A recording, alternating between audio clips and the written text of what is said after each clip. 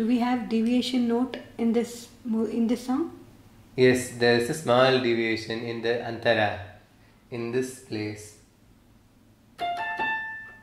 The a Shuddha Ga. Ga, which is used in Bhopali. Yes, Okay. not in Shivranjani. And then in Shivranjani it is Kamal Ga. Komal Ga.